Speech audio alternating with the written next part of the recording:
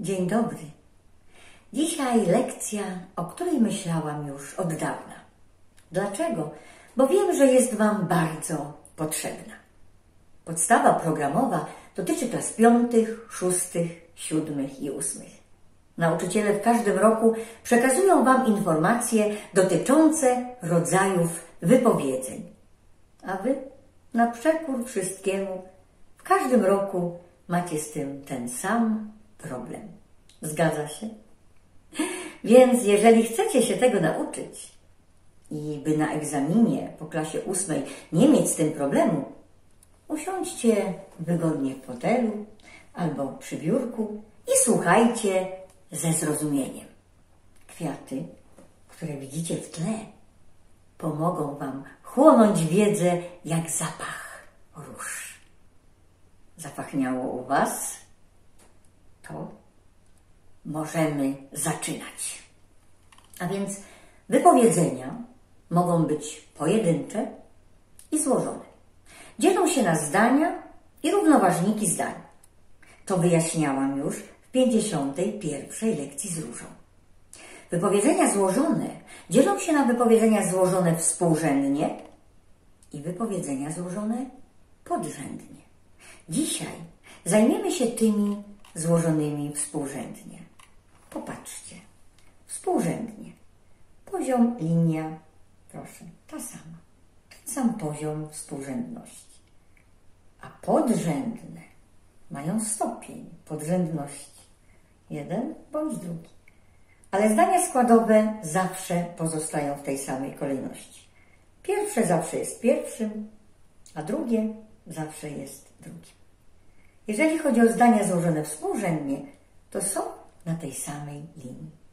Tymi zdaniami zajmiemy się właśnie dzisiaj. Mamy cztery rodzaje zdań złożonych współrzędnie. Zdanie złożone współrzędnie łączne, zdanie złożone współrzędnie przeciwstawne, złożone współrzędnie rozłączne i zdanie złożone współrzędnie wynikowe. Pierwszy rodzaj to zdania złożone współrzędnie łączne. Jak sama nazwa wskazuje, treści obu zdań składowych łączą się poprzez spójniki i oraz, a, ani, jak również są na tym samym poziomie współrzędności. Jedno może istnieć bez drugiego, na przykład mama piecze pierniki i częstuje nimi dzieci. Ale powiemy mama piecze pierniki albo częstuje nimi dzieci. Mogą istnieć same bez spójników. Jeżeli dodajemy spójnik, mamy zdania złożone współrzędnie łączne. Kolejny rodzaj to zdanie złożone współrzędnie przeciwstawne. Treści obu zdań przeciwstawiają się, jak dwa walczące ze sobą koguty. Przeciwstawiają się poprzez wprowadzenie spójników, ale, a, lecz, jednak, zaś, natomiast. Zobaczcie, tak wygląda wykres. Przeciwstawiają się. Mama piecze pierniki, ale nie będzie częstować nimi dzieci. Zobaczcie. Przeciwstawiają się. Groty strzałek dochodzą do siebie. Kolejny rodzaj zdań złożonych współrzędnie to zdanie złożone współrzędnie rozłączne. Treści obu zdań współrzędnych wykluczają się poprzez wprowadzenie spójników albo czy lub bądź. Popatrzcie. Wykluczają się. Każda strzałka w swoją stronę. Mama upiecze pierniki albo zrobi ciasto drożdżowe. Zobaczcie, nasze strzałki wykluczają się, idą każda w przeciwnym kierunku. Tak wygląda wykres zdania współrzędnie złożonego, rozłącznego. Mama będzie piec pierniki albo spędzi czas przed telewizorem. Ostatni rodzaj zdań złożonych współrzędnie to zdanie złożone współrzędnie wynikowe.